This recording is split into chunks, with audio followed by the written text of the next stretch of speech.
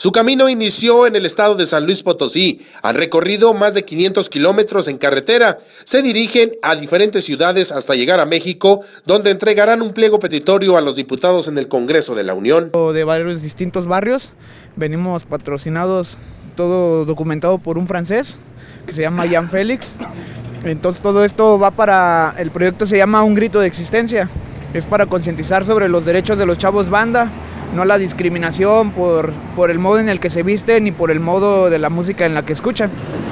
Eh, porque es lo que queremos cambiar, la sociedad. Todo surge cuando llega a San Luis Potosí Jean Félix, un joven fotógrafo francés que recorre varias partes de América Latina para fotografiar bandas. Como 8 o 9 años en San Luis, en los barrios, también en Centroamérica, en El Salvador, con la Mara 18 en Filipinas también, en barrios de Manila, la capital.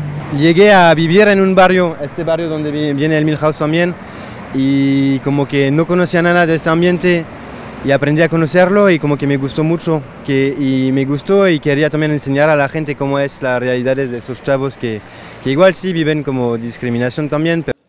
El joven francés aseguró que ha fotografiado a integrantes de la peligrosa banda Mara Salvatrucha y salió ileso, así como otras pandillas que habitan en todo Centroamérica. El recorrido en bicicleta seguirá. Se dirigen a Ramos Arizpe, Monterrey Nuevo León, Laredo, hasta llegar al Distrito Federal. Con la imagen de Marco Gamis para RCG informó Enrique Hurtado.